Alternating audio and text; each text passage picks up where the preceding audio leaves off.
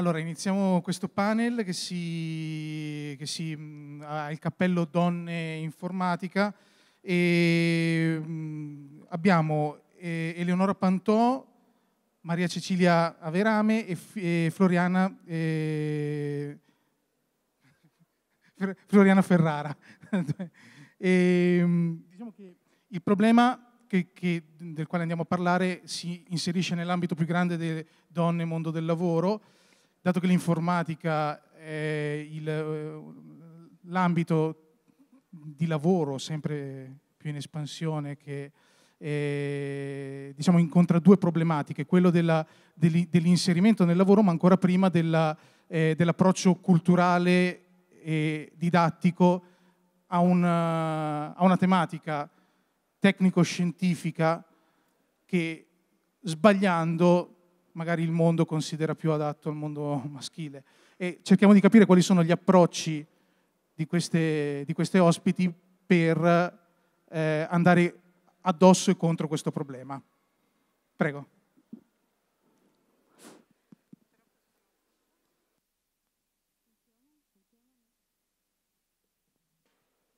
Prova, prova, ok.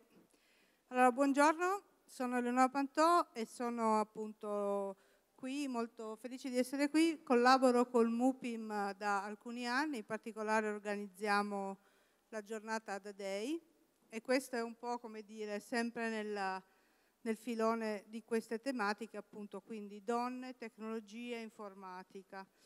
La presentazione, io vorrei farvi una breve presentazione, spero di essere abbastanza veloce, che fa un po' diciamo, un quadro generale sulle problematiche legate all'uso dell'informatica in generale e in particolare legate anche al tema femminile. Vado abbastanza veloce perché questa presentazione è stata preparata per un altro, l'avevo pensata per un altro pubblico, però insomma diciamo che magari voi avete le competenze già che servono. Il tema è questo, il software si sta mangiando il mondo, questo l'ha detto Mark Andresen nel 2011 quando praticamente in questo articolo che ha scritto sul Washington Post voleva, come dire, eh, attirare l'attenzione sul fatto che gli investimenti del futuro e che tutta l'industria sarebbe diventata, come dire, eh, molto più informatizzata. Questo lo abbiamo visto, lo vediamo appunto attraverso l'evoluzione degli strumenti, ormai col computer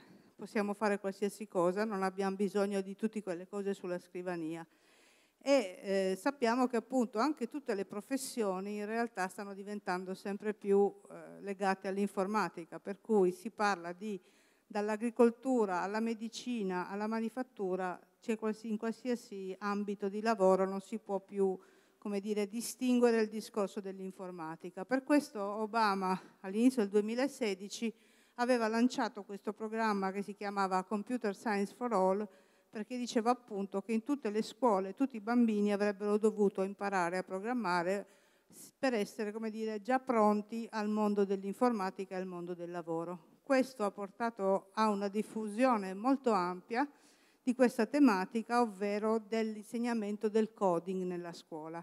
Su questo tema c'è un grande dibattito, nel senso che non tutti sono d'accordo sul fatto che la scuola debba investire energie e denari e soldi su questo tema e, e c'è anche un grosso dibattito su che cosa sia effettivamente il coding e anche su quello che, viene, che sta dietro, che viene chiamato pensiero computazionale. Stamattina io lavoro anche in un'altra associazione che si chiama Discola, abbiamo fatto la premiazione, abbiamo, facciamo un concorso nazionale ogni anno sul, sull'uso di Scratch, che si chiama Italian Scratch Festival, e abbiamo premiato questi, abbiamo ricevuto un centinaio di lavoro, a un certo punto è venuto da me un genitore e mi ha detto ma perché insegnate queste cose ai bambini invece che l'informatica fatta di zeri e uno? Perché in questo modo non capiscono cosa c'è sotto.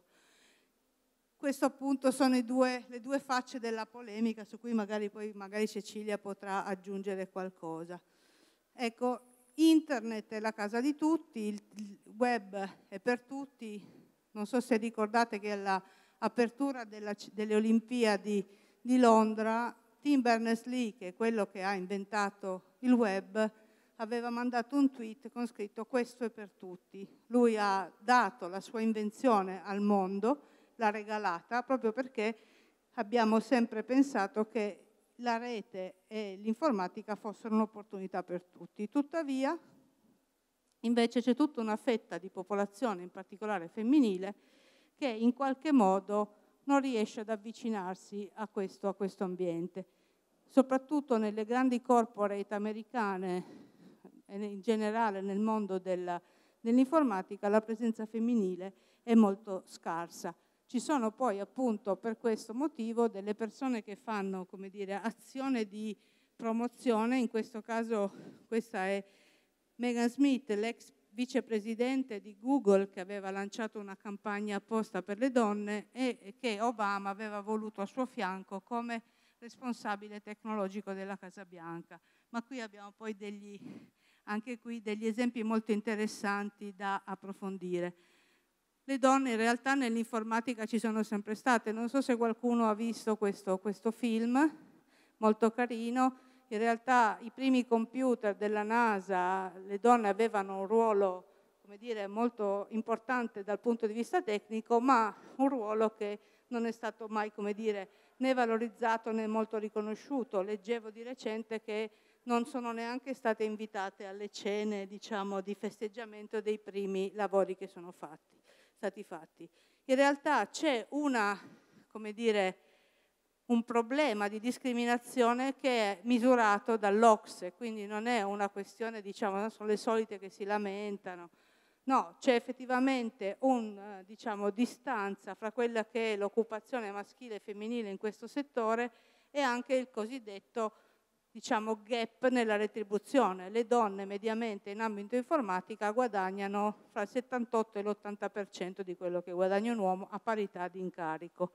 Quando l'Ocse ha intervistato per esempio i datori di lavoro che, e gli ha chiesto quali erano secondo loro le ragioni principali per eh, la discriminazione, ovviamente sono venute fuori un po' le solite cose, difficoltà a conciliare tempi di lavoro e tempi della casa, ma purtroppo quello che viene fuori spesso è che dicono che non ci sono donne abbastanza brave, che non ci sono abbastanza competenze, che loro non le trovano, quando in realtà ci sono moltissime ricerche che hanno dimostrato che quando i selezionatori non sanno se quello che da una parte è una donna o un uomo, la percentuale di donne che vengono scelte è molto più alta proprio perché ci sono comunque degli dire, eh, eh, problemi di discriminazione a volte anche involontaria.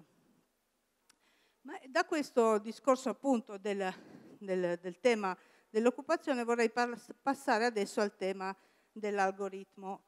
La differenza fra algoritmo e codice, qui siamo in un contesto di tecnici, quindi non sto a spiegarla, però quello che sappiamo è che effettivamente la vera differenza la fa un buon algoritmo. Questo è un report americano del 2010 che dice abbiamo capito che in realtà la vera cambiamento, la vera differenza non la fa la velocità del processore, ma la fa la qualità dell'algoritmo.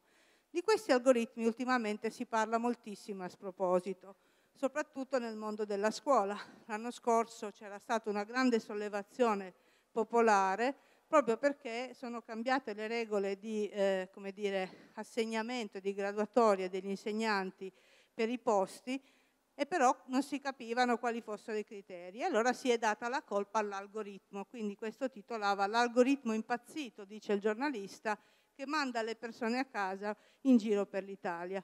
Ovviamente l'algoritmo qualcuno l'ha scritto, quindi le regole qualcuno le ha messe dentro. Tanto è vero che appunto i sindacati avevano chiesto trasparenza sull'algoritmo, che questo è proprio il vero problema, il Ministero non ha mai risposto in questi termini fino a che appunto c'è una sentenza di marzo che dice che il Ministero deve dire come era fatto l'algoritmo. Su questa diciamo, mancanza di trasparenza ce n'è, eh, ho fatto qua qualche esempio ma ce n'è vari, per esempio il tema di Facebook. Come fa Facebook a filtrare i contenuti? Non so se avevate seguito questo caso.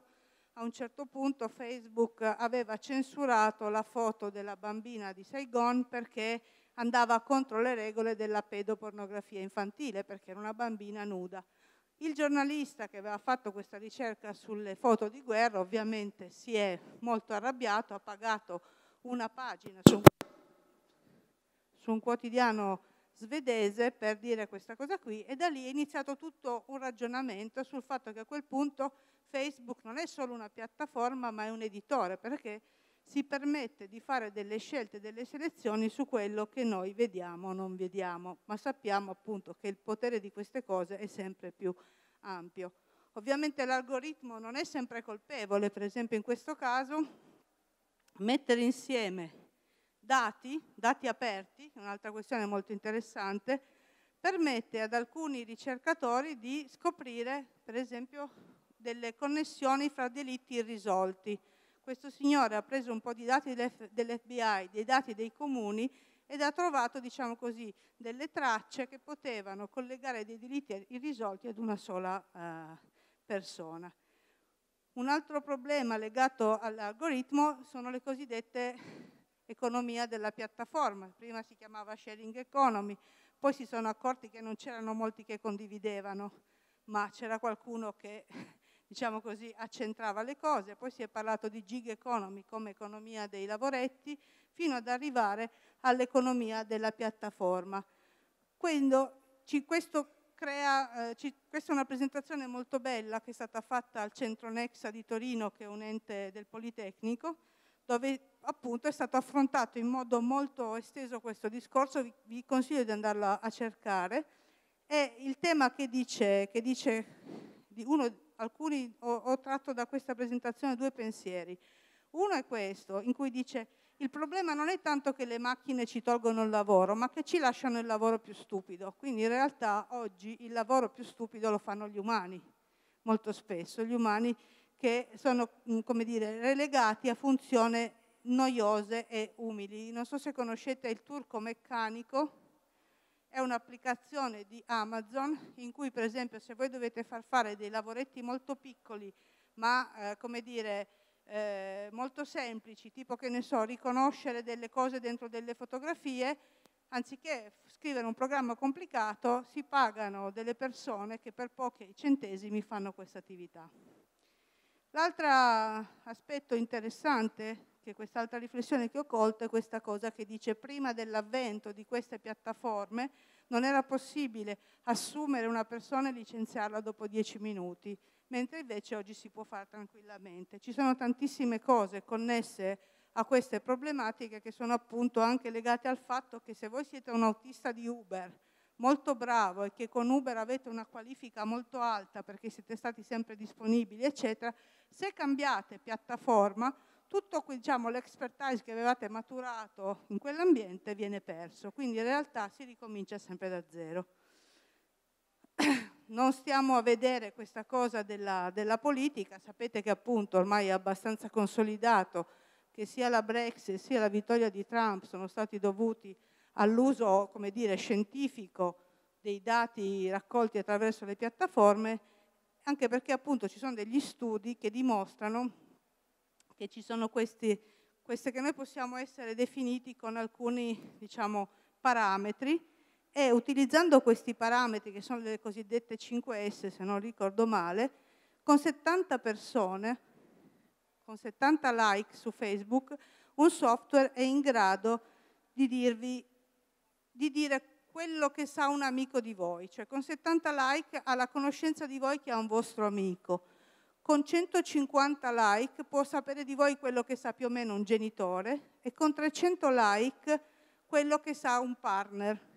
Con più di questi like dice che sa più di noi stessi quello che sappiamo di noi. Se siete curiosi, per esempio c'è questo software molto carino che si trova, è un plugin di di, dei browser che si chiama Data Selfie e potete vedere in tempo reale che tipo di caratteristiche raccoglie di voi e come vi profila. Quindi appunto in realtà questa, questa cosa degli algoritmi, della raccolta dei dati, delle intelligenze artificiali è molto, come dire, pervasiva.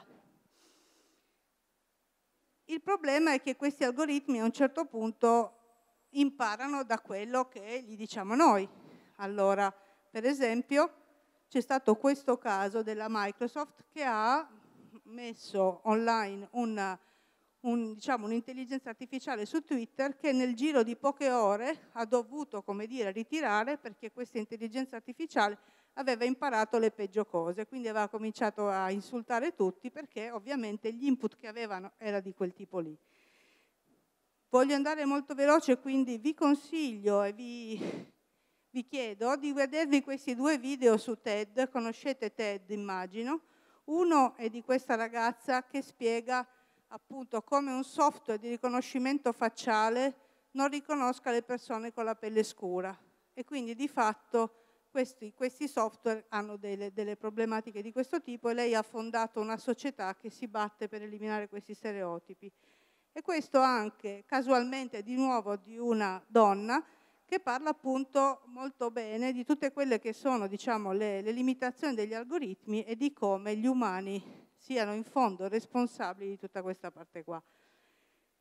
Sapete anche che ci sono tantissimi bot, sapete cosa sono i bot, no? Queste, questi software che fanno da, dei chatbot più che altro, che fanno interfacce conversazionali, se volete ce n'è uno molto carino fatto dalle donne per le donne che si chiama Ask Cindy, che vi guida a, come dire, praticamente vi chiede quanto guadagnate, cosa fate e vi dice quanto dovreste guadagnare per quel tipo di, di, diciamo, di, di qualifica e vi guida a fare una trattativa di lavoro per farvi alzare lo stipendio. Quindi è molto divertente eh, per le donne è fatto, perché il problema si dice che le donne hanno è quello di non essere abbastanza capaci a chiedere, non lo so se sia vero comunque. Questo è quello che si dice. Quindi io ho finito, dico solo appunto questo, ovviamente tutti i modelli sono sbagliati ma alcuni sono utili, quindi non è che noi vogliamo buttare via tutto quello che riguarda diciamo, il concetto di intelligenza artificiale, però quello che dobbiamo fare è non accettare mai come risposta è colpa dell'algoritmo. Ok? Grazie.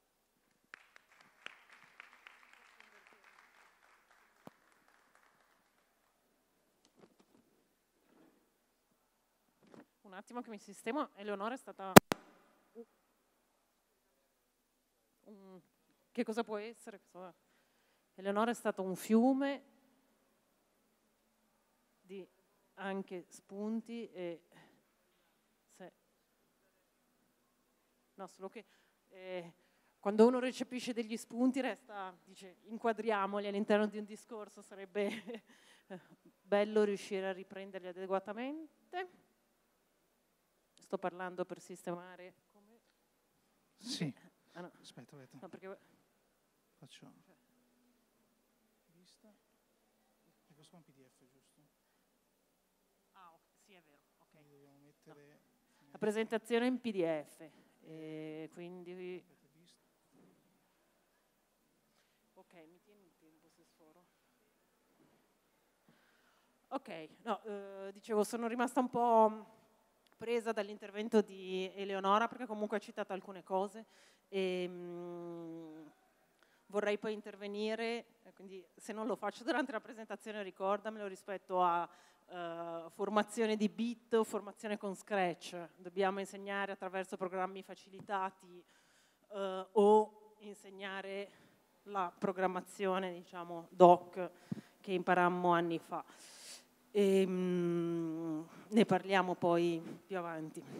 Diciamo che mh, ogni, quando mi si chiede di parlare di donna informatica resto sempre un po' spiazzata, ancora più spiazzata, uh, perché uh, francamente il fatto di uh, essere, diciamo, nella vita quotidiana si lavora, io lavoro, lavoro con donne, e, anzi lavoro prevalentemente con donne, lavoro con donne informatiche, non ci capita praticamente mai di notare che siamo donne, e vado nelle scuole, facciamo degli interventi di formazione, quando facciamo i laboratori di robotica di programmazione un 60% dei partecipanti sono bambine e sono dei fuochi di idee e di, uh, uh, di immagini. Se io penso a quella che è la mia storia, a me bambina, ai miei punti di riferimento, uh, ho dei punti di riferimento femminili forti che mi hanno ispirato.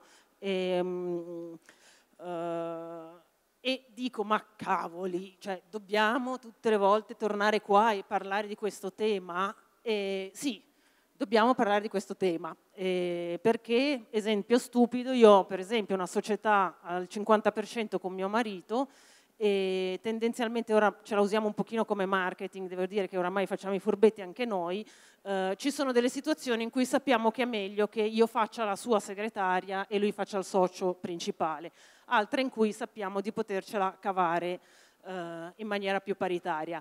Eh, sì, effettivamente si sente, si sente sul lavoro, si sente l'80%, eh? l'80%, l'80% di, l'88% di stipendio relativo agli uomini, si sente una sorta di immagine diversa.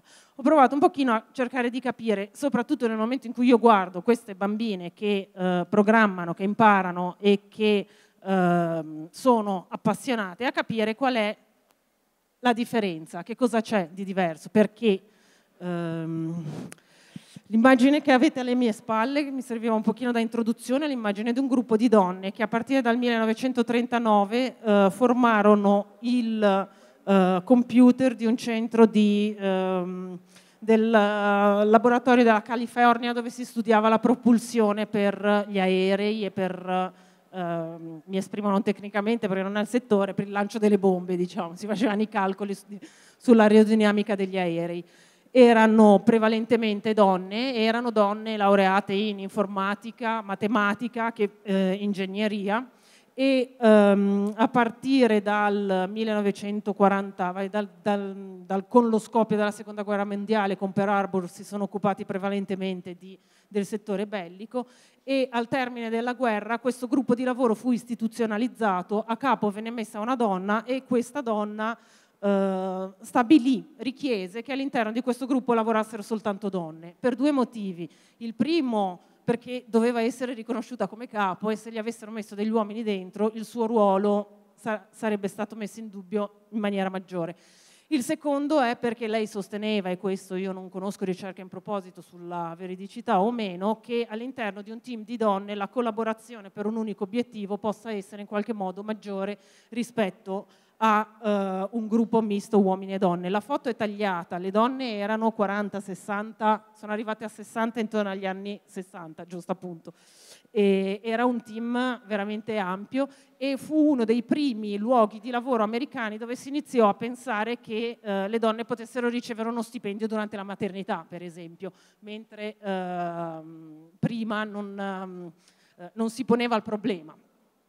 E, um, parlavo, ho, parlato prima, ho accennato prima a punti di riferimento. Margaret Hamilton, Margaret Hamilton è un'informatica, uh, un ingegnere informatico uh, che si è laureata verso la fine degli anni 50. Negli anni 60 si è sposata, aveva stabilito con il marito che per circa 3 o 4 anni lo avrebbe sostenuto nella sua carriera lavorativa perché avevano appena avuto un bambino, le offrono un posto di lavoro all'MIT di Boston dove succede una cosa divertentissima ehm, ai nuovi entrati davano da fare una sorta di giochino, ovvero ehm, la, eh, terminare un programma iniziato dove le righe in codice erano commentate in greco e in latino e mancavano dei punti fondamentali del, del, del codice cosiddetto. E lei se lo prese un pochino come passatempo e eh, lo concluse e non solo lo concluse ma le istruzioni le pubblicò solo ed esclusivamente in greco e in latino dicendo voi così me l'avete dato, io vi dimostro che sono eh, in grado di farlo. Nel 1961 lei era a capo del settore, ora io i nomi li sbaglio sempre, del settore, eh, capo sviluppo del software di bollo del dell'Apollo e fu responsabile del software dell'Apollo 11 che nel 61-62 fece il primo volo. E qui la vediamo all'interno del modulo di comando. Dicevo, eh, ritorniamo un pochino all'oggi, donne che ieri c'erano e, eh, come dire, lavoravano senza disturbare. Eh, all'interno del, come dicevo prima, lavoro prevalentemente con donne, e, um, abbiamo con un team di donne, ma eh, casualmente non è una scelta, eh, un gruppo di lavoro che si è costituito per eh, la diffusione, la promozione diciamo, della robotica in, eh, sia all'interno delle aule con corsi di formazione, sia invece in maniera ricreativa a casa. Abbiamo creato una piccola valigetta con un kit robotico a basso costo, con materiali a costo limitato e una serie di istruzioni. All'interno di questo progetto ho lavorato io, ha lavorato l'autrice che è una divulgatrice scientifica che si occupa di eh, divulgazione della robotica e della programmazione, ha lavorato una grafica, hanno lavorato diverse figure e l'abbiamo lavorato una persona che ha testato ogni esperimento scientifico, eccetera. Una caratteristica, al di là del fatto che fossimo femmine, una caratteristica di, del nostro lavoro è che eh, se qualcuno ci chiedesse che lavoro facciamo, nessuno di noi dice eh, di avere esperienza in tecnologia, in programmazione, in robotica. Uh, perché la viviamo qui un po' uh, tutti quanti come se fosse una caratteristica che ci serve per fare qualcos'altro, ma non è l'obiettivo. Qui un po' mi ricollego uh, a quanto diceva Eleonora, ma perché non gli insegniamo la matematica e le basi della programmazione invece che farli, virgolette, giocare con Scratch? Nel momento in cui io mi trovo davanti a un gruppo di eh, ragazzini che costruiscono delle creature robotiche, che giocano e che sperimentano, eh, ho tendenzialmente, qui di nuovo lo so, non è, è una descrizione che faccio, quindi non, non, porto dati scientifici, ma secondo me sarebbe interessante farlo, eh, ho tendenzialmente davanti a me due, due eh, atteggiamenti che sono leggermente differenti. Tante bambine e tante bambine che vogliono scoprire come funzionano delle cose perché hanno un progetto in testa da realizzare, ovvero eh, la bambina parte facendo una scheda, può essere questa qua, non so se immagini si vedono poco, una scheda di un robot che vuole realizzare, di un progetto, di una macchinina, eh, di un qualche cosa e cerca le competenze e le conoscenze che possono servire a lei per raggiungere il suo obiettivo. Molto più, ehm, proviene molto più dalla parte maschile eh, de, dei partecipanti l'idea di voler apprendere qualcosa per sapere quello. Cioè la bambina ti dice a me serve l'informatica perché se non imparo l'informatica non faccio funzionare il mio gioco che ho in testa e che voglio costruire. Il ragazzino molto spesso ti dice io voglio imparare l'informatica perché quello è il mio obiettivo e um, mostrando quindi diciamo, un atteggiamento che tutto sommato è, uh, è differente. Poi diciamo, su questo di parte posso dire che l'entusiasmo delle, delle, de, delle bambine coinvolge sempre. E, um, è più difficile forse anche per un maschio raccontare il progetto che c'è dietro. Certo però eh, ti trovi dei ragazzini che a uguale livello di competenze raggiunte ti dicono io da grande voglio fare eh, l'università di lettere o storia, eccetera, e utilizzare quello che ho imparato in quello che farò, e dei ragazzini che ti dicono io da grande vorrò andare all'università di ingegneria. Questo secondo me è una caratteristica eh, che è importante di, mh, mm, da, da, da, contemplare nel momento in cui si fa formazione e si lavora e con i bambini e con gli insegnanti, ovvero perché lo facciamo? Cioè, che cos'è che vogliamo avere dopo? Una schiera di programmatori iscritti uh, che, uh, che, si iscriveranno alle università di ingegneria o di programmazione o uh, un innalzamento delle competenze base in questi settori che sia capace di contaminare tutte le discipline quindi, e che sia quindi capace di innalzare il livello medio.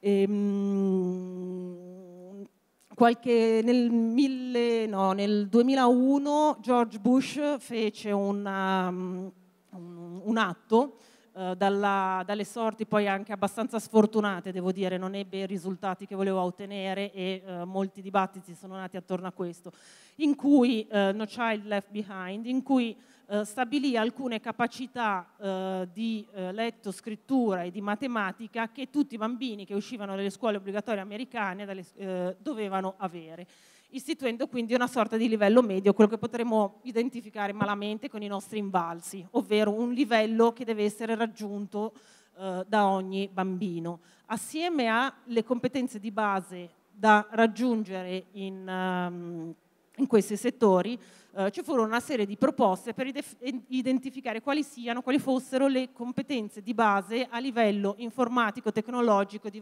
navigazione in rete dei bambini. Ora, eh, uno dei quadri che io utilizzo come quadro di riferimento per questo non ha a che fare con quanti programmi so utilizzare, che, eh, che, cosa so costruire, quali risultati posso ottenere facendo una cosa, ma eh, con una serie di abilità che sono di nuovo abilità che devono essere trasversali all'interno della eh, vita sociale di un ragazzino. E il quadro di riferimento che ho utilizzato in questo momento è quello di Jenkins, che trovate in culture partecipative e competenze digitali. Quali sono le competenze digitali da passare e di cui sostenere la diffusione tanto nei maschi quanto nelle femmine? La capacità di, di fare esperienze di quello che si trova in rete, di giocare e di risolvere e di trovare soluzioni eh, la capacità di interpretare ciò che si legge, ciò che si trova, di, co- di costruire dei modelli che siano dinamici, che possano fornire risposte a seconda delle varie questioni che si affrontano, capacità di impersonare personalità alternative, eh, di immaginarsi altri, di eh, quindi queste sono molto legate alla navigazione, quindi di navigare in rete comprendendo il proprio punto di vista, comprendendo il punto di vista degli altri, riuscendo a effettuare una sintesi e riuscendo a immaginarsi altro da sé. Uh, l'abilità, quindi la capacità di saper miscelare contenuti di, um, provenienti da media differenti, di, quindi di manipolare, di uh, riconoscere uh, e modificare ciò che si, ci, si presenta davanti. E, e via, diciamo, sono, le riassumo abbastanza, sono tutte abbastanza leganti, legate. L'intelligenza collettiva, la necessità di riuscire a trovare delle risposte, delle soluzioni a dei problemi che si presentano non più individualmente all'interno della propria camera in uno studio che è uno studio individuale, ma in un luogo che è collettivo dove più persone si incontrano e quindi di interagire con, con gli altri abilità di giudizio fondamentali, eh, di eh, comprensione, mm, esempio, fonti, eh, capacità di eh, rilevazione della correttezza o meno di una fonte, di riconoscimento di, di, chi, di chi proviene questa fonte, di manipolazione delle informazioni ricevute e di ritrasmissione co, uh, all'esterno, quindi riorganizzazione e produzione propria di uh, informazioni. E queste questo quadro, ripeto ancora una volta, non ha a che fare con delle competenze eh, e delle conoscenze tecniche all'interno di un programma. Se noi pensiamo ai nostri giovani, questi sono alcuni dati Uh, di una ricerca di um, Ipsos per Save the Children del 2015, l'hanno rifatta quest'anno, cioè è, è uscita quella del 2016, i risultati sono molto simili. Eh, I ragazzi vivono all'interno della tec- tecnologia, diciamo, questo credo che siano cose abbastanza note per tutti. Un terzo dei giovani dai 13 anni ha, ha un blog, produce contenuti online, il 75% conversa su Facebook, il 59% utilizza WhatsApp, il 58% dichiara eh, scusate, utilizzano di, motori di ricerca per cercare informazioni, Wikipedia, eccetera. E un giovane su quattro dichiara di aver creato una nuova voce su Wikipedia. A me sembra un risultato altissimo, dai 13 anni in su. Mi sembra un, un buon risultato. Il 59% di loro dice di aver imparato a fare tutte queste cose da solo, di non aver ave- avuto un punto di riferimento, un insegnante, un genitore, eccetera, eccetera, che lo guidasse nella scoperta del, della rete. Ora, mettendo un attimo in pausa questo discorso e uh, vedendo un pochino quella che è la nostra scuola, um, quattro dati veloci. La percentuale di donne nella scuola è uh, superiore alla media europea. Passiamo da un 98% nella scuola primaria a un 58% nella secondaria di secondo grado. Uh, L'Italia ha la scuola con l'età media più elevata, intorno ai 51 anni, e eh, il range di età più affollato, cioè la, maggior, la, la frequenza, direi che si chiama, va dai, 48 a, dai 44 ai 58 anni, che è superiore all'età med- a quella media europea, direi di 4-5 anni. Uh, insegnanti che dichiarano di utilizzare strumenti digitali all'interno della didattica, questi sono dati invece risalenti al 2009, quindi un pochino più datati. E, um, mai superiori al 20% e ogni settimana leggermente inferiore al 20%. Al 20%. Diciamo che uh, la, le, la, frequ- la, la, di nuovo, la frequenza maggiore va fra le due volte l'anno e le quattro volte l'anno, quindi un utilizzo abbastanza raro. E chi utilizza, quali suddivisione per dis- discipline di materie insegnate, quali insegnanti utilizzano strumentazioni informatiche, abbiamo naturalmente al primo posto insegnanti che si, multidisciplinari, qui eh, chi si occupa di sostegno ha una capacità maggiore di utilizzo delle nuove tecnologie, di strumenti compensativi, scientifiche, tecniche, da ultimo umani, uh, umanistiche, qui è indicato da ultimo linguistiche, che in realtà si è leggermente alzata in questi anni, perché nelle scuole sono arrivati tantissimi laboratori di lingue automatici che vengono utilizzati frequentemente. Diciamo che all'ultimo, ci sono quasi, eh, all'ultimo restano i docenti di materie umanistiche. Ora, ehm, quando si va davanti a questi insegnanti e si eh, parla di digitale, di didattica e di opportunità, pensando che tutto sommato la scuola dovrebbe essere il luogo dove eh, le differenze si appianano, si riducono al massimo per fare in maniera che comunque ragazzi e ragazze e differenti ehm, eh, ragazzi provenienti da famiglie differenti con opportunità quindi diverse possano avere non, eh, non, mi piace la retorica, quindi non diciamo uguali opportunità perché non ce li hanno, non ci sono uguali opportunità, però il, il più possibile opportunità simili. E di che cosa andiamo a parlare con loro quando abbiamo questo 58% che già naviga, utilizza strumenti e questo gross, gro, grus, uh, scusate, grosso gruppo di insegnanti con un'età media molto alta e delle capacità molto basse. E, ehm, di nuovo, secondo me anche su questo possiamo fare un capovolgimento, invece che iniziare a dire oh, abbiamo troppe donne o abbiamo una classe di insegnanti troppo anziani, tralasciando il fatto che vuole anche dire che non stanno entrando giovani, eh, tendenzialmente se noi pensiamo a un professionista di 51 anni, usciamo dalla scuola, immaginiamoci in un'azienda, se noi pensiamo a un professionista di 51 anni abbiamo davanti una persona matura che ha lavorato per 25-30 anni, che tendenzialmente copre, potrebbe coprire posizioni abbastanza alte di coordinamento, guidare i nuovi ingressi.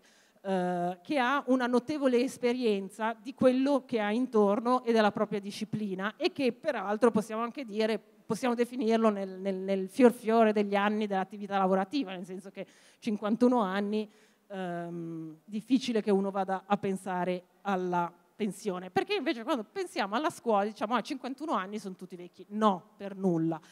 Um, una proposta, una idea in questo ce la dà legando al discorso di Jenkins, eh, la creazione di percorsi di avvicinamento e di sostegno al digitale che si basino non sulle competenze che gli insegnanti possano avere o non avere, quanto su quel quadro generale, quella ehm, collocazione di orizzonti di senso, quell'orizzonte di senso, di significato, di interazione che ha la tecnologia nella vita di un ragazzo.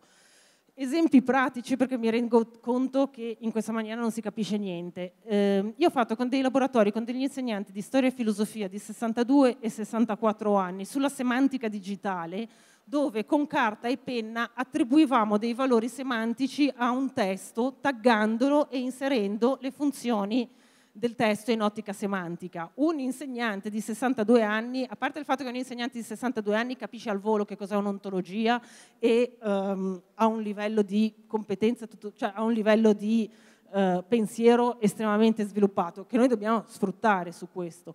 Uh, l'insegnante è colui che uh, è in grado di definire che cos'è un dato e che cos'è un'informazione, come legare un dato e come legare, uh, come legare un dato a un'informazione, la differenza.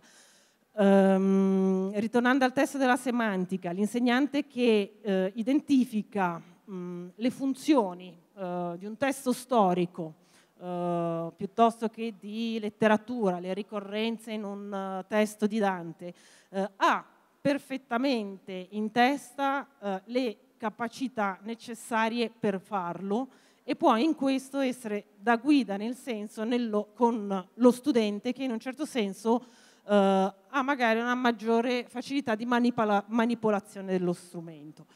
Qui concludo perché direi che ho parlato anche troppo. Eh, il succo è, non è tanto insegnare tante cose a questi ragazzi perché imparino tante cose, ma è riuscire a fornirgli quell'orizzonte di senso che peraltro dà anche a noi, formatore e agli insegnanti, un ruolo in quello che si fa. Grazie. Ok, eh, volevo adesso dare la parola a, ehm, ehm, a Floriana eh, perché torniamo al tema principale, donne di informatica. Ok, abbiamo capito che c'è necessità di modi nuovi di insegnare le cose a livello scolastico, prescolastico, scolastico, e, però abbiamo capito che c'è bisogno anche di modelli. No? Floriana, che è una informatica di successo nel mondo, nel mondo, aziendale perché lavora per IBM e ha una master inventor di IBM, quindi una posizione, ci sono pochi master inventor al mondo, IBM ogni tot ne sceglie un po'. Floriana ha anche capito che bisogna porsi come modello per fare in modo che le donne abbiano il coraggio di proseguire quella carriera, giusto? Quindi racconta sì, esatto. la tua esperienza così torniamo al tema io sono, sono, senza slide, la legge di Murphy, le mie slide non funzionano, quindi va benissimo così. Comunque erano, mh, sarebbero state mezz'ora di slide eh, per un pubblico di 15-16 anni, quindi forse è meglio se, se queste slide non funzionano. Uh, la, la, prima immagine sarebbe stata una mia fotografia di quando avevo 15 anni, in cui ero un, maschiaccio, un nerd, eh, vestita sempre con maglioni larghi, con pantaloni larghi, occhialoni eh, a fondo di bottiglia, eh, in cui veniva eh, drammaticamente schiacciata tutta la mia femminilità per essere riconosciuta dai miei colleghi uomini come informatico, proprio perché io mh, nascevo appassionata di informatica dall'età di 13 anni. Qui mi sono diplomata in informatica, laureata in informatica, eh, borsa di studio al CNR di Genova, sempre nel settore di informatica, con un sogno nel cassetto, lavorare in IBM. Sogno nel cassetto realizzato, e lì lavoro da 25 anni e adesso sono un IBM Master Inventor e guido una squadra uh, di innovatori, una nuova struttura uh, dell'IBM Italia in cui noi creiamo innovazione per uh, eh, nostri clienti privati e pubblici eh, basati sul, sul cognitivo, sull'intelligenza artificiale. Quindi a noi i robot non ci spaventano, anzi sono i nostri amici e, mm, e, ci supportano nel lavoro di tutti i giorni e aiutiamo le aziende nel, nel capire come fare business su questo. Eh, questo è il mio lavoro no- normale, quello per cui mi pagano.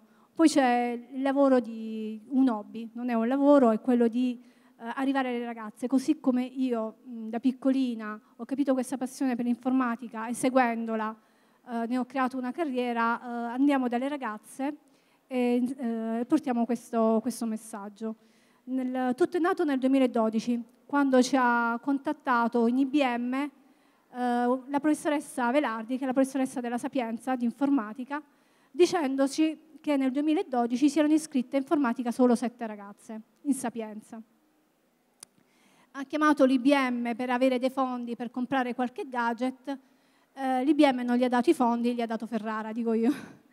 Insieme abbiamo, abbiamo studiato, capito e analizzato eh, quale fosse il problema, perché le ragazze non si iscrivessero in informatica. Prima di tutto le ragazze non sanno, eh, mi dispiace che qui ci siano tanti uomini che informatici che potrebbero risentirsi, l'informatica l'ha creata la donna eh, la prima programmatrice Ada Lovelace, il primo compilatore una donna, la, la, parola bug, che significa un virus, è stato creato da una donna, le icone che siamo abituati a utilizzare, la, car- la, la cartellina o la, la clessidra l'ha creata una donna, ma andrei avanti per ore su questa cosa.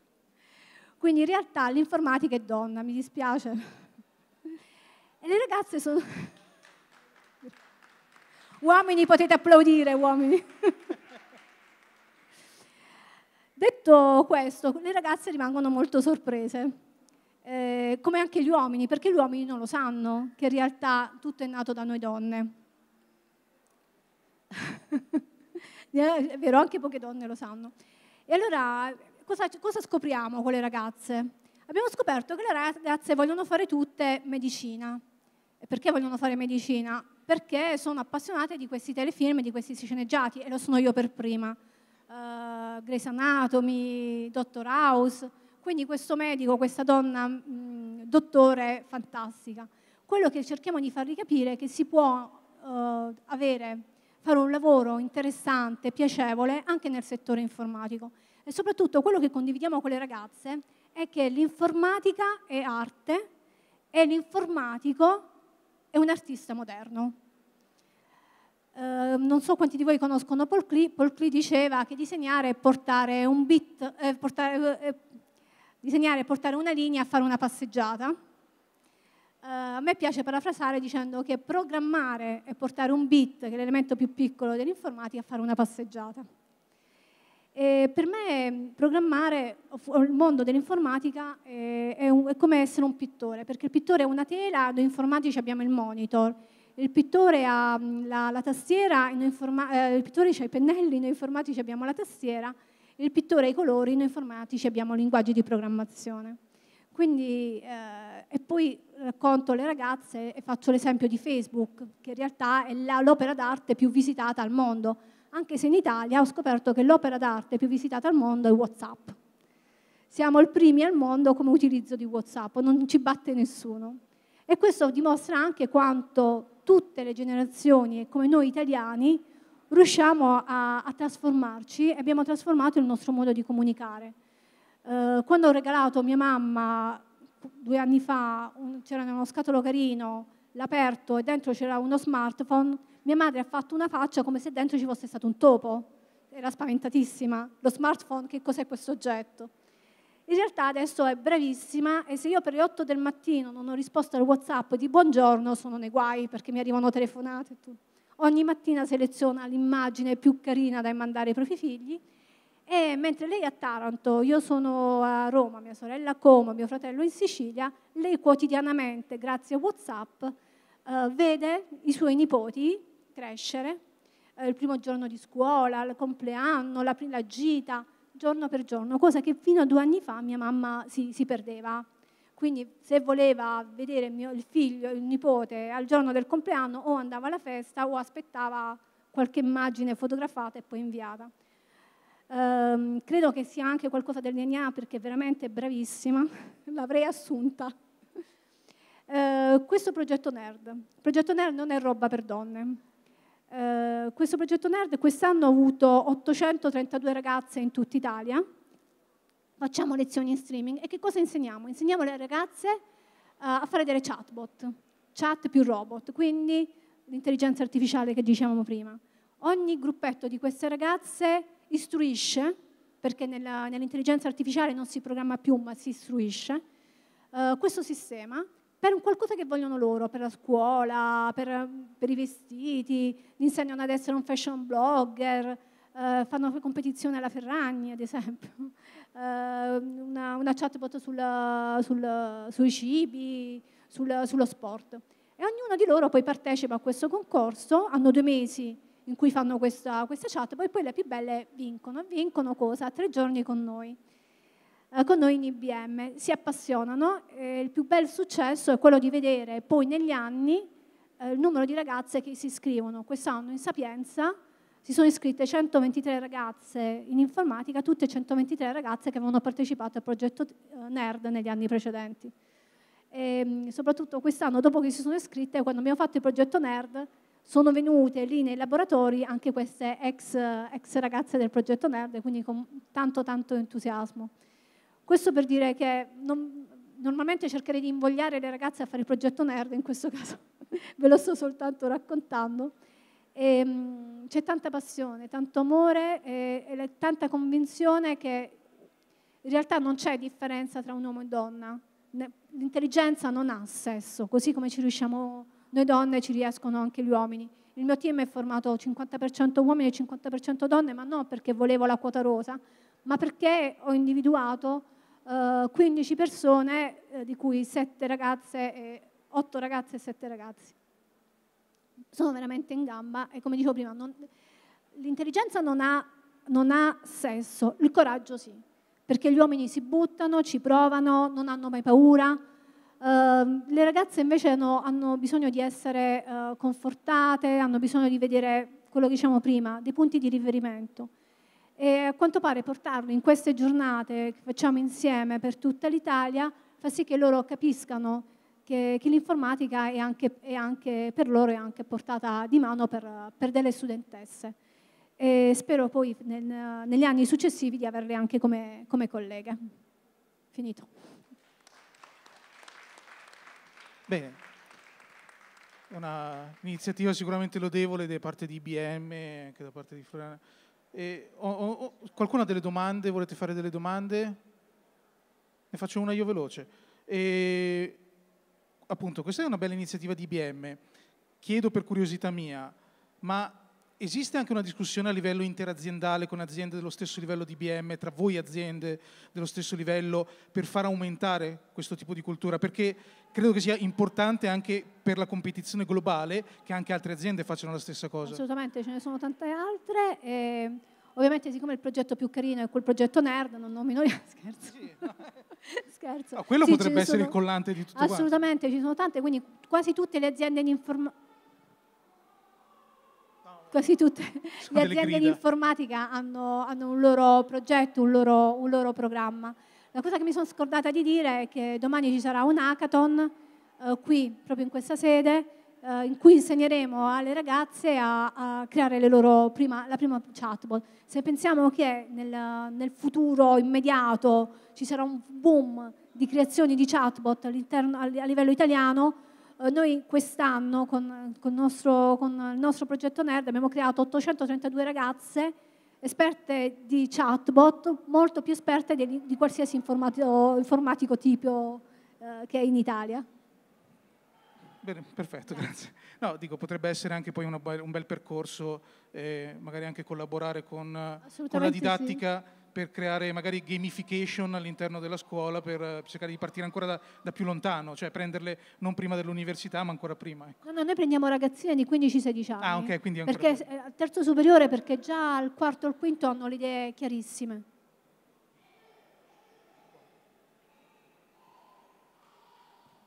Concludiamo qua il panel. grazie, grazie ancora tantissimo. Eh, scusate perché io ho dei problemi di di memoria con i nomi, a Eleonoria, Maria Cecilia e Floriana. Grazie ancora.